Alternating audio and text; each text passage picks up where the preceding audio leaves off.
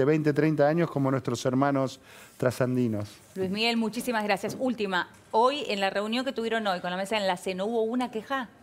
No, más que nada es que lo que pasa es que hay tanto por hablar que no hubo tiempo para la queja, sino que más que nada proyectamos.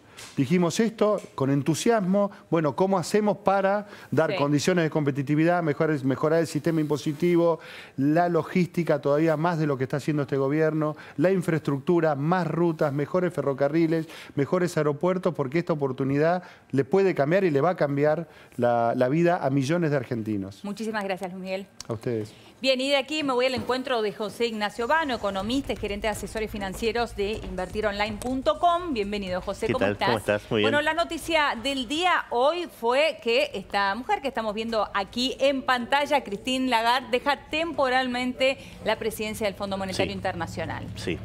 Eh, a ver, dijo temporalmente, ¿no? Dijo Porque temporalmente es candidata, todavía no está segura, es candidata a, suceder a Mario Draghi como presidente del Banco Central Europeo, al italiano. Eh, podría no ser, si no ser se estima que vuelve, por eso fue temporal la licencia que pidió.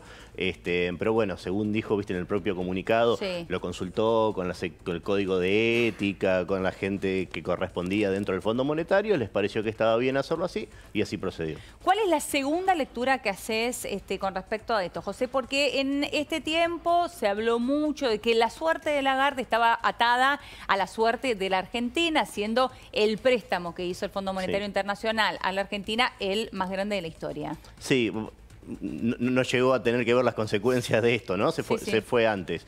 Eh, sí, es... A ver, el Fondo Monetario parece que hizo varias concesiones con Argentina por lo menos cuando vos ves hay un reglamento que dice eh, en relación a la cuota que aporta cada país, cuántas veces le puede prestar, y eso fue excedido mucho por Argentina. Em, cuando vos ves también cómo se conformó inicialmente la banda de no intervención cambiaria, que después la fueron mutando, sacaron el techo, después dentro de la banda de no intervención se pudo intervenir, no, fue necesario, alcanzó con el, anuncio, pero bueno, hubo una cierta cantidad de concesiones que por eso ahora nos estamos preguntando si podemos tener problemas o no, digamos, porque son como fuera del libro esas, esas, este, concesiones.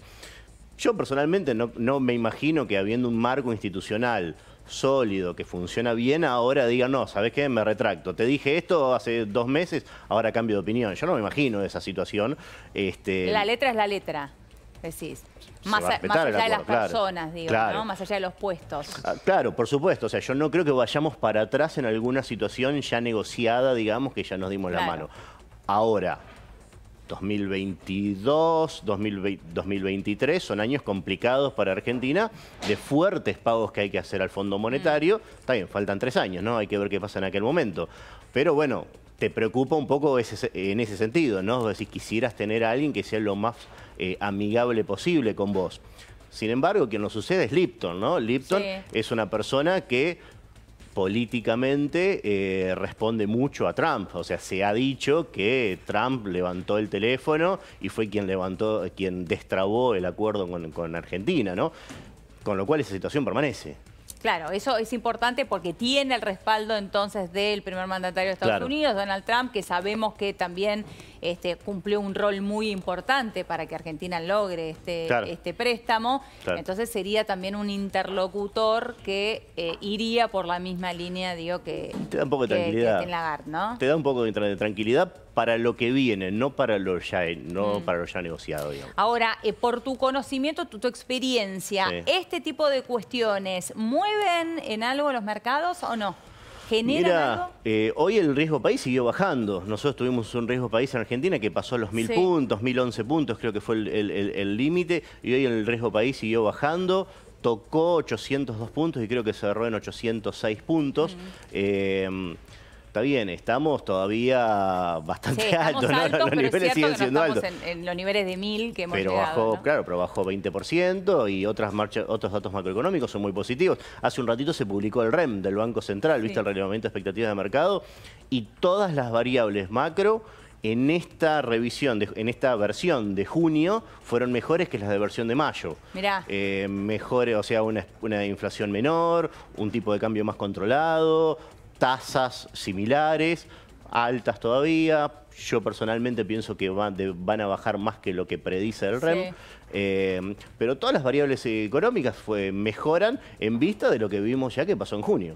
Bien, o sea que este, vos crees de aquí en adelante que la tendencia, por más que sea chica, porque lo es, la verdad que lo que vemos, este, sobre todo en datos de inflación, en datos de consumo eh, y, demás cuestiones, eh, es los datos por más que sean chicas, ¿hay una tendencia a la recuperación? Yo creo que sí, yo creo que sí, hemos visto varios datos partimos muy mal, ¿no? Partís del tercer subsuelo, entonces todavía estás en el segundo, digamos.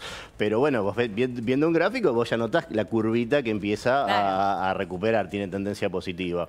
Lo vimos, por ejemplo, en el último, el último informe de crecimiento del PBI, que siguió siendo negativo, que siguió siendo negativo, pero también la... Es importante subrayar esto. Por eso, por eso.